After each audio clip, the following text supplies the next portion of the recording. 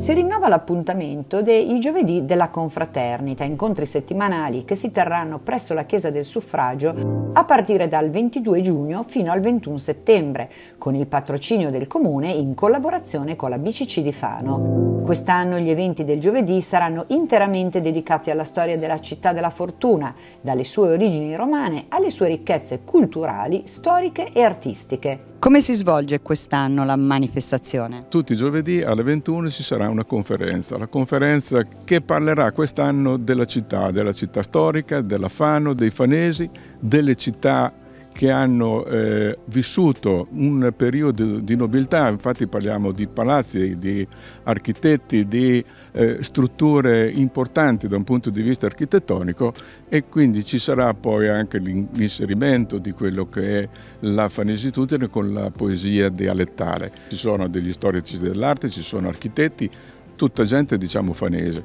Parliamo dei miracoli del Signorin, faccio per dire il vescovo eh, Giovanni Tonucci che è un personaggio, il nostro diciamo, sacerdote spirituale della confraternita, però lui tratterà i miracoli del Signorin in dialetto fanese, ma che sono ecco, un'interpretazione dei miracoli del Signore.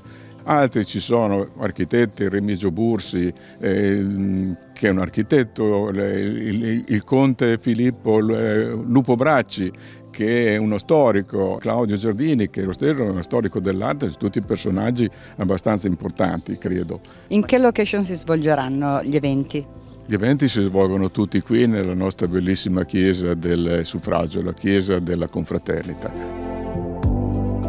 BCC di Fano sempre presente a queste bellissime iniziative? È un'iniziativa oramai che è storica e l'abbiamo sempre mh, sostenuta perché è un momento di crescita e sicuramente gli argomenti trattati, ho visto anche quest'anno, sono tutti argomenti che hanno per la nostra città un'importanza, quindi le sosteniamo.